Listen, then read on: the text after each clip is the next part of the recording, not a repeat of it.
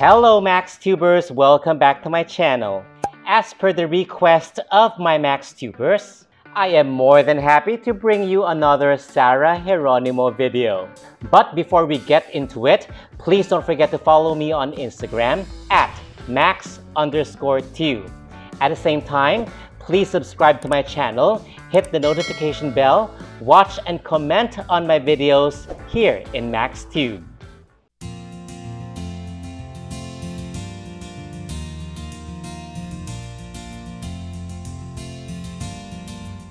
Before we play the video, note that I got this from the channel of Sarah Geronimo fan.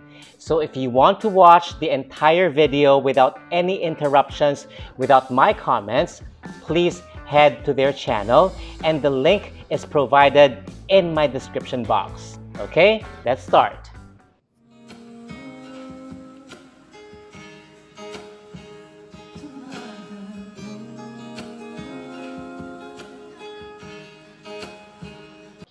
First and foremost, I'd like to mention how gorgeous she looks.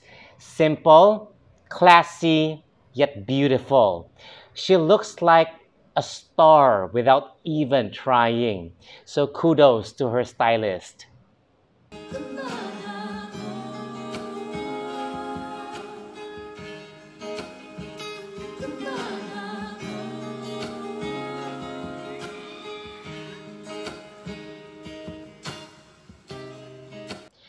I wonder why she changed her microphone. Did she use the wrong one? Or maybe each of the microphones has a different mix? Or maybe it's not even relevant. Let's see.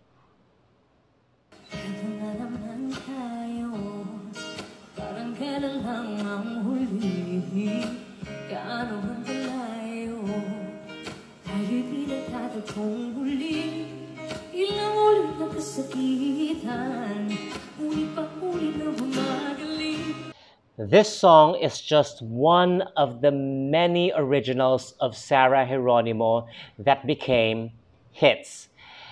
And not a lot of people can boast of having local hits, especially at a time when people um, are favoring foreign songs over OPMs, which I think is really a shame.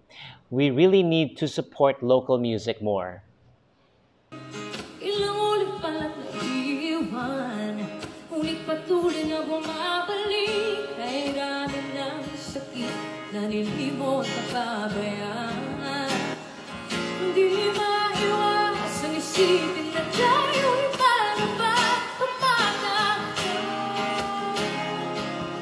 I am actually guilty of this. For years, I haven't been updated with local music. But what I can say is even I know about this song, the iconic Ikot Ikot Lang, Ikot Ikot Lang, Ikot Ikot, which we will hear later in the song. By the way, there are a few parts where she is giving us nasal resonance. Contrary to some beliefs of non-singers, this is actually a legit, healthy singing technique. But naturally, you don't use this technique for the entire song, only when it's needed. What's unhealthy is if it starts to sound throaty. That means you're burdening your throat, which may eventually cause damage to your cords. Not the best way to achieve vocal longevity.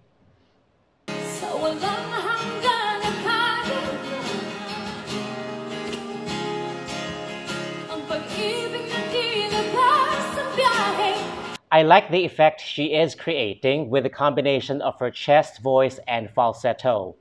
I know I've said in the past that I prefer it when singers are able to retain their vocal power when they shift from chest to head voice. But this actually depends on the song. In this case, it would sound unnecessary and insincere if she retained its power. Besides, I believe she is not using her head voice here. She is using falsetto, which are two different tones. Let's continue.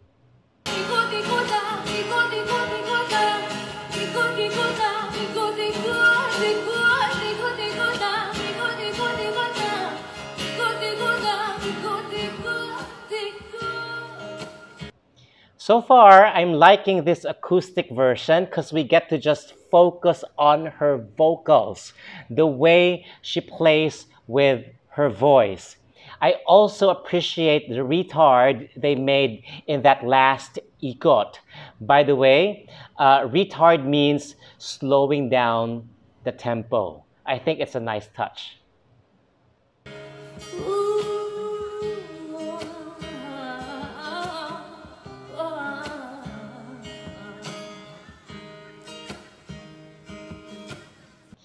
Very decent ad libs, nothing overdone, very tasteful. That's all I can say. Moving on.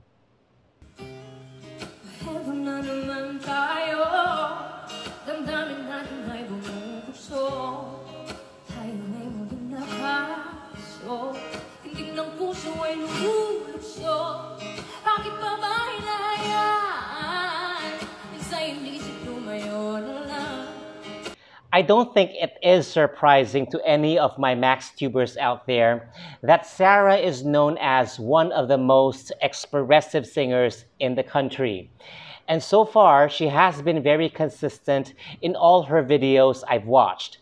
I've said this several times in my other videos that if you fail to express the meaning of the song, even if you are hitting all the right notes, the highest or the lowest of notes, I wouldn't be impressed because it's all about communicating.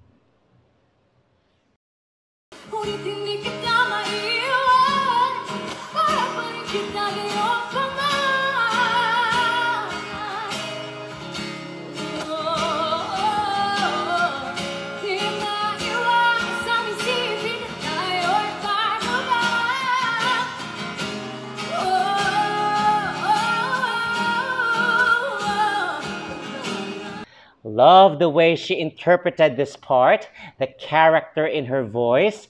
Also, she was casually hitting D flat 5 and E flat 5 with an open and bright sound. Sounds nice so far. Let's go back to the clip.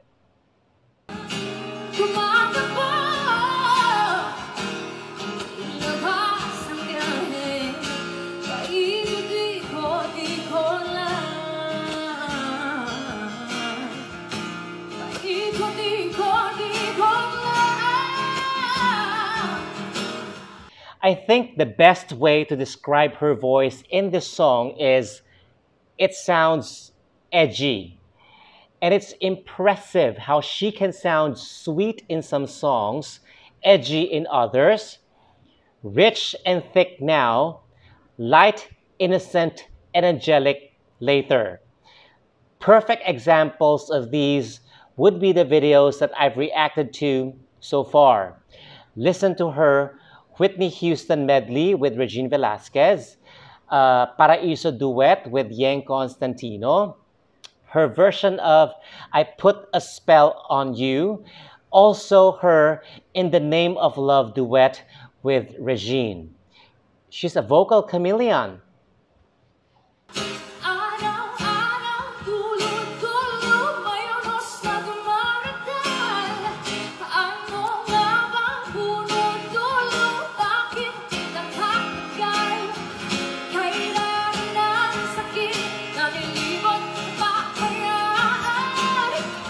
Love the intensity she is giving us, the punch in her voice without sounding shouty.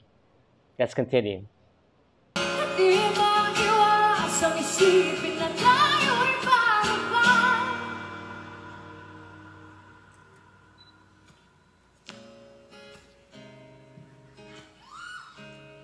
That sudden pause there is very dramatic and I like it. I like it very much. In fact, in my own live performances, I do that a lot whenever I want to get my audience's attention. And it never fails. It always works.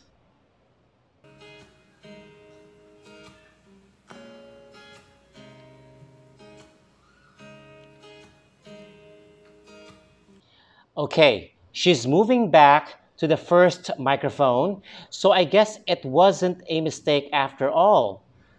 But I don't know why.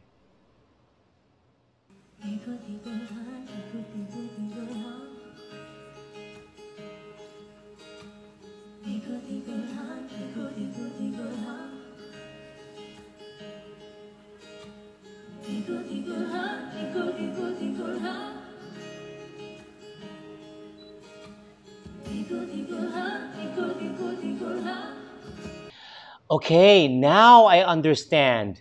I understand why she was using two microphones. The first mic, the black one, has a harmonization uh, gadget attached to its line, which automatically generates a second voice from her real voice upon activation using a foot pedal. Also, I heard a click from the gadget, which was playing back the harmonization she just did herself. All this time, I thought she had live backup singers. She is her own backup singer. Cool. Multitasking.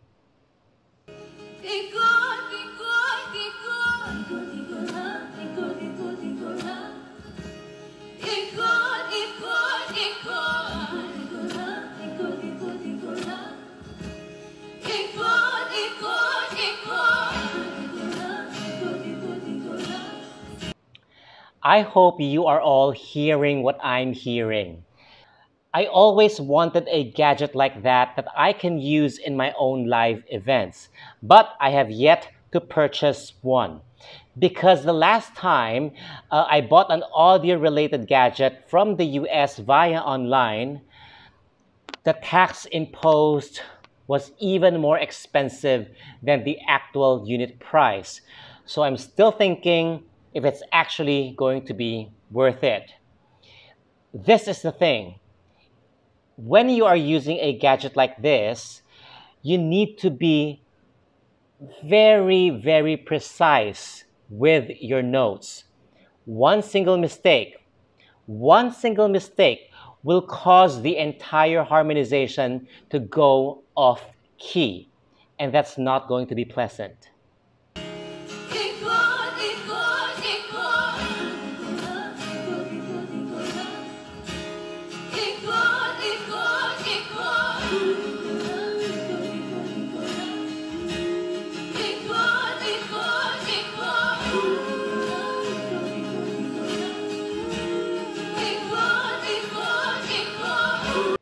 Actually, I rewatched the official video earlier before watching this. In both versions, she was able to deliver voice, emotions, but the difference with this performance is I am not distracted by the visual elements of the original video. Because as you all know, it was a very creative video with a lot of interesting choreography. So watching both videos gave me two different experiences.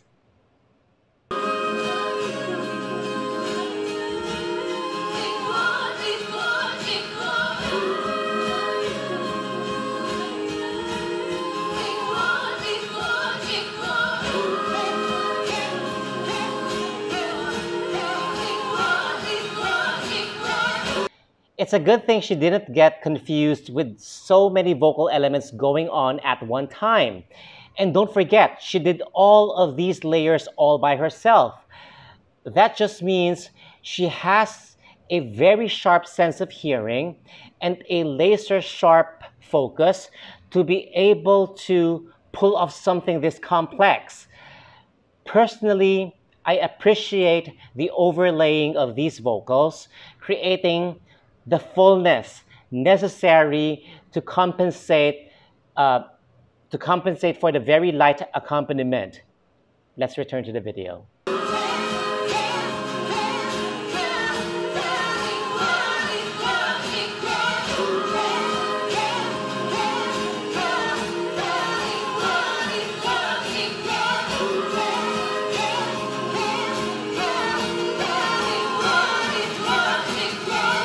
It almost sounds a bit alternative and ethnic at the same time, the way she is chanting, and it sounds great.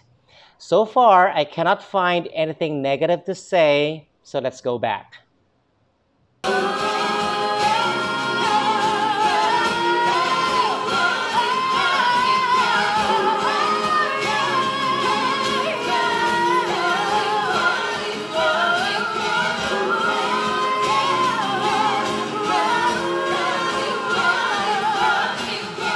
Imagine having to sing over your own powerful vocals. It's Sarah versus Sarah. And guess who won? Sarah.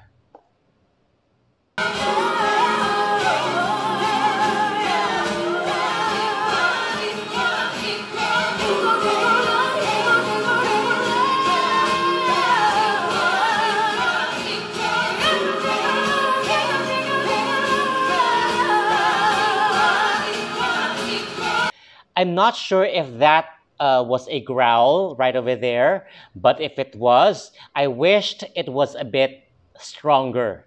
Other than that, everything sounds perfect.